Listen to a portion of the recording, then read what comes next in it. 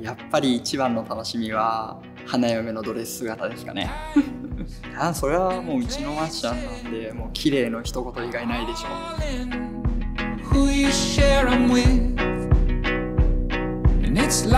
う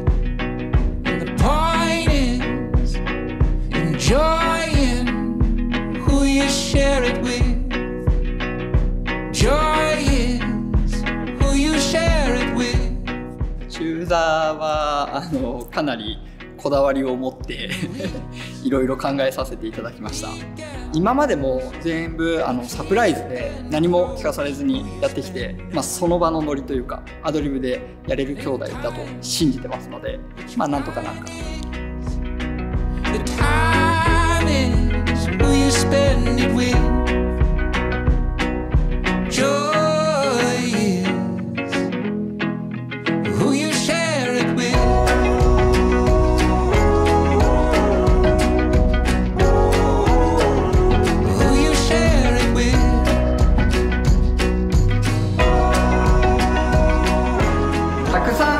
と。たけれど今日をもって卒業しま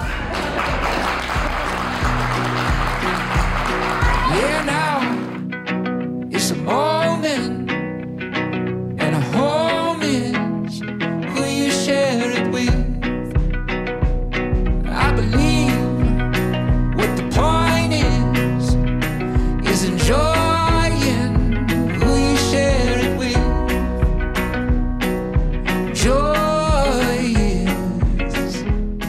でしたか？卒業式。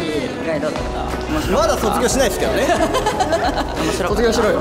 まだしないです。卒業しろよ。私は2人の娘に生まれてとても幸せです。これからはこうちゃんと支え合いながら明るく幸せな家庭を築いていきたいと思っていますので温かく見守っていてください